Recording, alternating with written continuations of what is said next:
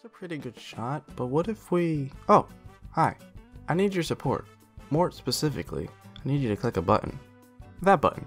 You see, my film class and I, we made a short film there because of such a unique setting, and the story needed to be just as unique. We ended up using Lego in the actual film, and the story itself. And since I'm a fanatic for Lego, it was only fitting that I recreated it in Lego. So, if you like the idea, and possibly the story that goes along with it, please consider supporting it. Now, if you'll excuse me, I've got some films to make.